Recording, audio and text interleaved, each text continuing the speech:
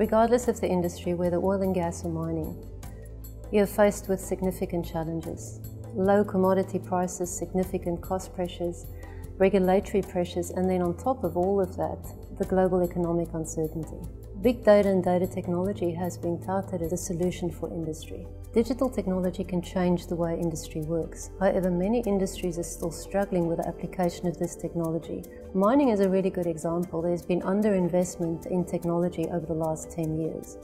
And because of that, mining is lagging behind other industries in the application of digital technologies.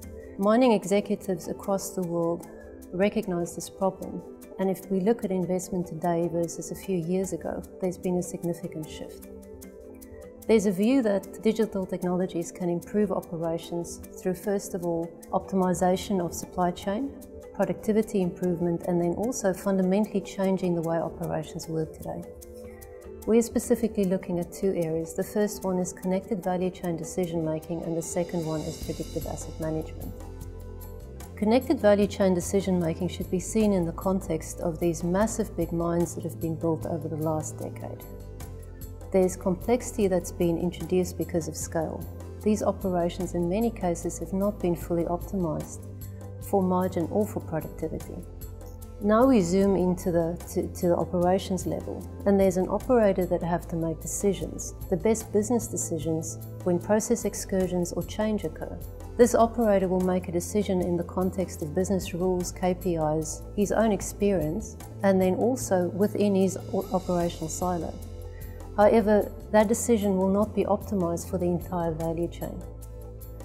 Imagine if we can give them visibility across the value chain when they make the decisions, when they understand the current business context. They are actually provided with the most optimum decision for the value chain. That is specifically what we are working on. We are firstly looking at optimization of the entire value chain, and then secondly, to provide a real-time solution that will enable real-time decision-making when process excursions or business changes occur. Another key area of development is predictive asset management. When unplanned failures occur, you have an immediate negative impact on availability. However, there's a knock-on effect on safety performance, cost performance, and also variability. Predictive maintenance with the application of, of analytics in decision making is, is widely applied to reduce unplanned failures. However, we want to take it to the next step.